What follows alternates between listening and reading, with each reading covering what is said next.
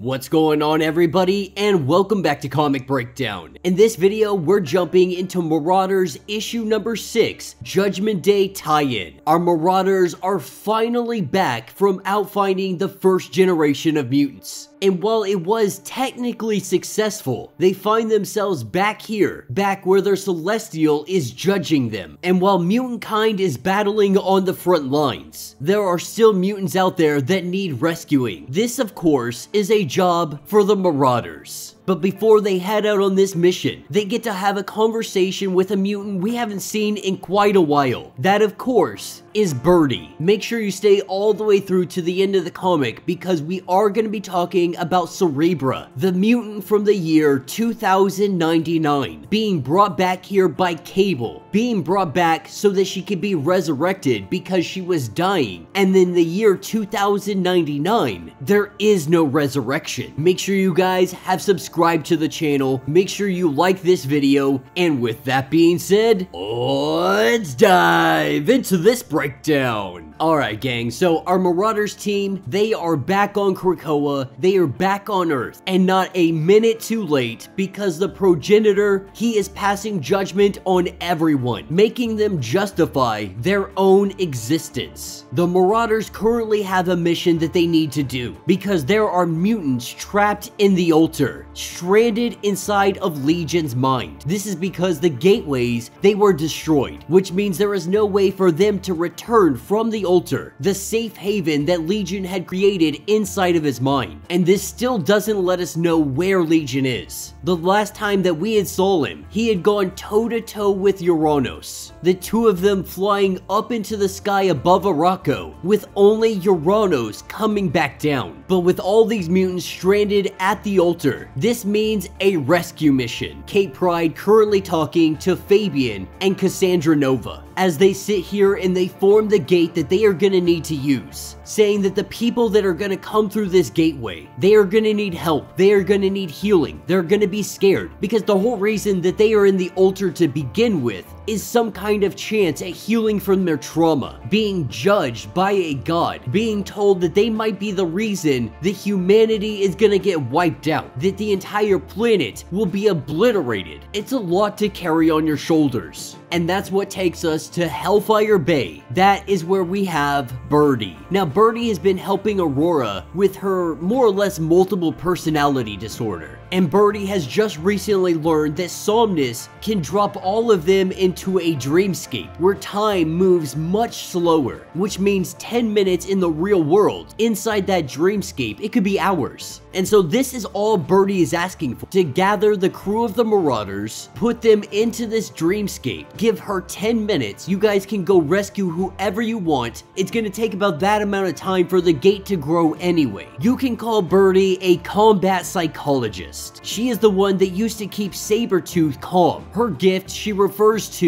as the glow. Empathy, telepathy, taking thoughts, feelings, and memories, and being able to help people to heal from their trauma. And since she has been working with Aurora, Aurora believes that maybe, just maybe, she can help everybody else. This is when we go into the mind of Bishop, being shown exactly what the Celestial had shown him. He is sitting down with Malcolm and Randall, his old crew from back in the day, or the future, depending on how you look at it. Now, he knew this was a test. He knew that this was a Celestial. He is one that usually knows exactly when he is, where he is, and so it wasn't easy or it wasn't hard for him to figure this out. But what they are asking him is why haven't you resurrected us? We were your teammates. They died fighting next to him. Why aren't they good enough for this utopia? Why is he here and they are not? The truth is, for Bishop, he is not waiting to resurrect them because this world is too good for them. He wants to make this world good enough for them and then bring them back. That this world isn't good enough for them. This is something the Celestial threw into Bishop's face. And while he may not like to admit it, it was pretty traumatic for him. But that is why Birdie is here, to help him, to heal him, to help him move past all of this, so they can focus on the mission. That's when we jump into the mind of Aurora. Her and all of her different personalities. The progenitor appears to her as an individual by the name of Headlok, the celestial saying that you should be able to prove why you deserve to live. Now, Aurora, she's not hearing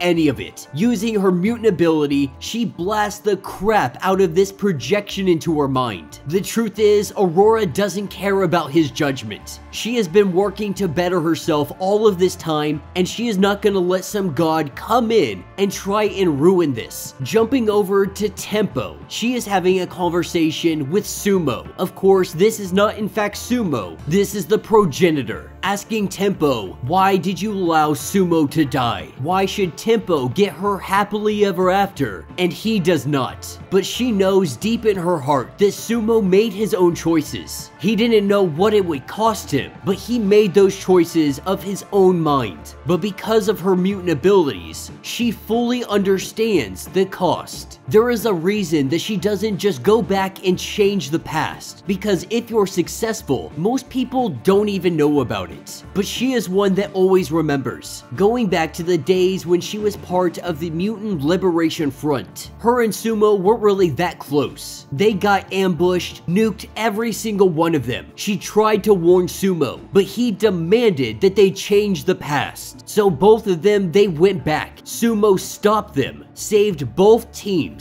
saved Cable. The timeline had revised so their mission never happened. But the next time that they ran into X-Force, Cable had shot him in the head. She doesn't want to justify why she doesn't go back into the past, but this did make her rethink things, and she is going to be really trying to push for Sumo's resurrection. That's when we hop over to Psylocke, the progenitor coming in the form of Sinister, which is a very cruel thing, because Sinister is the whole reason that she no longer has her child. Sinister had been keeping her child's DNA hostage, that way that she would do his bidding, especially when they were part of the Hellions team. And so she didn't even give this Celestial a minute to speak. As he laid there dead on the ground, he spoke anyway, letting Psylocke know that you're supposed to convince me why you should be spared, taunting her, trying to get underneath her skin. But the reason she believes she deserves to live this life is because she finally has her body back. She has the possibility of making some kind of difference. She fights in the names of those that she has lost, and that includes her child. She is not giving the progenitor a justification. She lets the god know that on the battlefield, that is where you will find me. That is where you will find my justification, where she will stand against the god until she can stand no longer. That his actions are an intrusion, and she will make this god pay in blood, glaring in anger, but nodding in approval. Jumping over to Somnus, the progenitor had come as Jean Paul,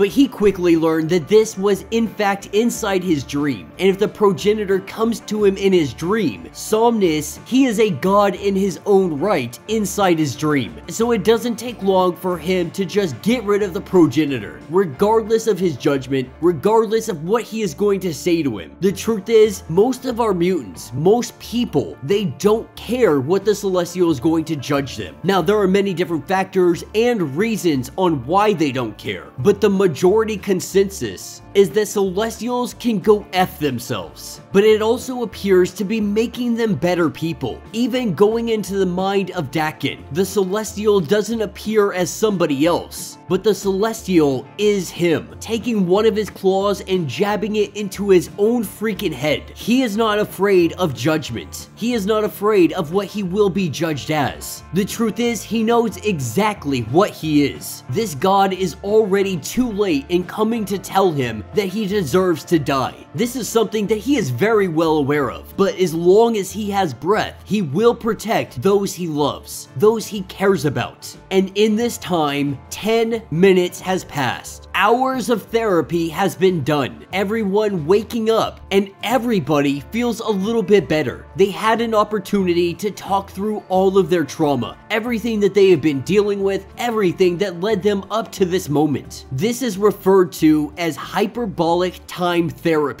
Breaking brand new ground, this is going to be revolutionary. We have months of work done in 10 minutes. As they turn around, they see that the gate has been completed, and so while they prepare for their rescue mission, while mutant kind moves on the Celestial, in the background, we finally get to see some Orchis. Because while mutant kind is battling their battle against the Eternals, while the world faces celestial judgment, while mutant kind is escalating tensions, Orchis is going to use this to their advantage, telling them to get all the footage they possibly can. That if Earth does continue on, if they pass judgment, they want it to be clear who brought them to the brink of extinction. Everything bad that mutant kind has done, from Brimstone Love to Thunderbird's assault on a police officer, this is another petal of the Orchis. They plan to win the hearts and minds. And so while mutant kind fights for their freedom, Judas Traveler is ensuring that they get seen in the worst possible light. And as we close out this issue, this is where we get Cerebra writing to Kitty Pryde. Cerebra has just come from the future, where she is leader of the X-Men of 2099. On the brink of death, Cable had brought her here so she could be resurrected. In the time that she had left, mutant kind was just on the verge of finding their forever home. She had thrown herself in the path of Celestial, but in 2099, there is no 5. There is no mutant resurrection. And while she's not ready to jump into battle to do any kind of craziness, she does want to open up the time drive, the one that is keeping mutant kinds trapped inside, the first generation of mutants, not knowing how many are in there. Presumably, there is only one individual, but there could be more. And in this era of Krakoa, this is the perfect time to be. With her mutant ability, she will be able to take the information off the time drive and put it directly into an egg. When it hatches, we will have the first generation. They will return, and we could see them within Judgment Day. And that will be the end of this issue. So let me know what you guys think down in the comments. This issue was big on just healing from trauma. You know, we've seen that going around a lot inside Judgment Day. Everyone is feeling guilty, feeling bad, feeling shame, feeling all these negative emotions. Morale is at an all-time low. Even Emma Frost is feeling bad. What Birdie is trying to do is get these guys' minds right. Get them on the battlefield where they belong, fighting against the Eternals. We are finally seeing just a little sign of Orchis. We have yet to see Nimrod or Omega Sentinel or Omega Moira. They have been hiding off, keeping in the distance. More than likely, they're just waiting to see how all this plays out. I think my biggest takeaway from this is going to be the little excerpt that we have from Cerebra of 2099. Now, if you followed everything that happened with Cable, you'll know that the Krakoa era, at least from the timelines that he has seen, it does not exist. That it is nothing more than a footnote in the history that is mutant kind. And Cerebra is kinda solidifying that idea, that resurrection, the Five, Krakoa, this era of mutant kind, while it is one of the highest peaks of achievement for them, this era does not last forever. Now, the timeline is always changing. Things are always going in different directions. Sinister has clones of Moira. He is able to reset the timeline anytime he likes. Then you have Destiny, who is also out here predicting the best path.